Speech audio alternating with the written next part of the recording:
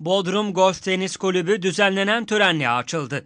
Açılışa Muğla Valisi Fatih Şahin, Türkiye Futbol Federasyonu Başkanı Yıldırım Demirören, eski bakanlardan Fikret Ünlü, Koç Holding Onursal Başkanı Rahmi Koç, Bodrum Kaymakamı Mehmet Gödekmerdan, Bodrum Belediye Başkanı Mehmet Kocadon, Ortakent Yahşi Belediye Başkanı Mehmet Onur Şahbaz, Yalıkavak Belediye Başkanı Mustafa Saruhan'ın da aralarında bulunduğu çok sayıda davetli katıldı. Merhaba başkanım. Nasılsınız? Sağ olun. Nasılsınız? Başkanım merhaba. Hoş geldiniz. Ortakent Yahşi beldesindeki kulübün açılış töreninde konuşan Muğla Valisi Fatih Şahin, kulübün yapılmasında emeği geçenlere teşekkür etti. Bizim biraz önce de ifade edildi. Muğla genelinde turizmi çeşitlendirmemiz ve süreyi uzatmamız gerekiyor. Bununla ilgili müthiş çalışmalar var. Bu tesis de buna büyük bir katkı sağlayacak. Onun için Muğla anlamında büyük değeri var. Turizm dünyada çok önemli bir sektör.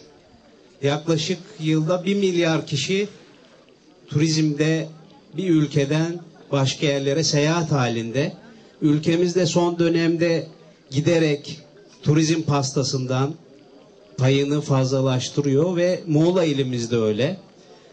Tabi turizme biz sadece ekonomik olarak bakmıyoruz. Turizm insanları farklı kültürleri birbirine kaynaştıran, bizim diğer coğrafyada yaşayan ulusları, insanları, onların yaşam tarzlarını, geleneklerini anlamamıza sağlayan, onların bizi anlamasını sağlayan aslında paha biçilmez bir sektör. Açılışa katılan Koç grubu Onursal Başkanı Rahmi Koç da açılışı yapılan tesiste daha önce de golf oynadığını ve tesisin daha da büyümesi gerektiğini kaydetti.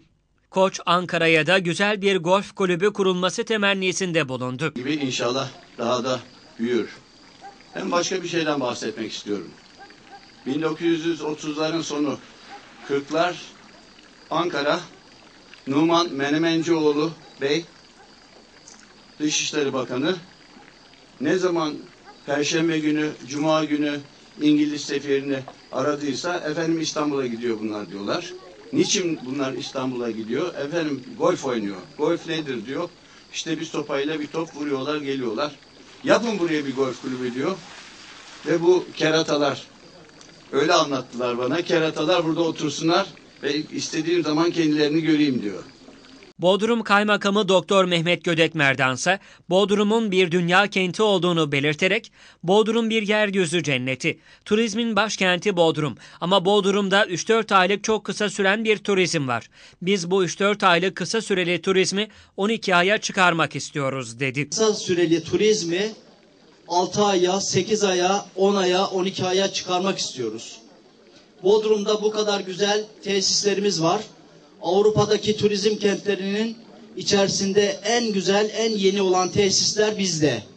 Bodrum Belediye Başkanı Mehmet Kocadon, 2007 yılında Ortakent Yahşi Belediye Başkanlığı döneminde kendisiyle golf tesisi hakkında görüştüklerini belirterek şunları söyledi. Ben o zaman Ortakent Yaşlı Belediye Başkanıyım. Kapımı çaldı, golfle ilgili fikirlerini anlattılar. Nerede yapabiliriz dediler.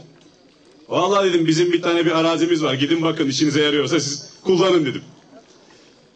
Çünkü sporla benim çok yakın bir ilgim var. Sporsuz hayat bir yaşam tarzı değildir arkadaşlar. Sporu lütfen sevin. Sporla içi olun ki etrafınıza endorfin hormonlarının mutluluğunu yaşatın. Ben her gün spor yapan bir insanım. Günün bir saatini ayırıyorum spora ve bu golf de gerçekten insanı doğayla iç içe yaşatan, gerçi çevreci arkadaşlarımız pek bunu benimsemezler ama dik durduk. Dik durduğumuz zaman için her zaman bedel ödenir Türkiye'de. Ödedik. Sonra da Bodrum Belediye Başkanı olduk. Bodrum'da da yine golfle ilgili bir çalışma e, yine meclisimize geldi. Orada da dik durduk. Hatta bize züppe dediler. Bu sporu desteklediğimiz için. Bu züppeler nereden geldi? Bu golf nereden çıktı? Ve bugün e, inşallah Fikret Bey de bu golf sahalarını Bodrum'a kazandıracak. Çünkü Bodrum'un 12 ay turizm diyorsak bunun bir tanesi de spor turizmi. Bodrum'un buna ihtiyacı var. Ee, ve e, gerçekten 12 ay turizmde buna ihtiyacımız olduğunu biliyoruz. Ve golfün de öyle abartıldığı gibi ne çevreye ne de insanlara hiçbir zararı yok. Sporun arkadaşlar zararı olmaz. Zararı olan yerde spor olmaz. Onun için biz bugün burada şu mutluluğu yaşıyorsak ve bu mutluluğu yaşatan bir de perdenin arkasında sizin bilmediğiniz bir grup var. Ben bu grup, grup hepsi benim arkadaşım. Hepsini birebir de tanıyorum. Gerçekten burası için emek sarf ettiler. Onlara teşekkür ediyorum. Ortakent Yaşi'ye, Bodrum'umuza böyle bir güzel kulüp kazandıkları için, böyle bir spor tesisi kazandıkları için hepsine teşekkür ediyorum. Konuşmaların ardından kulübün kurulmasında emeği geçenlere plaket sunuldu.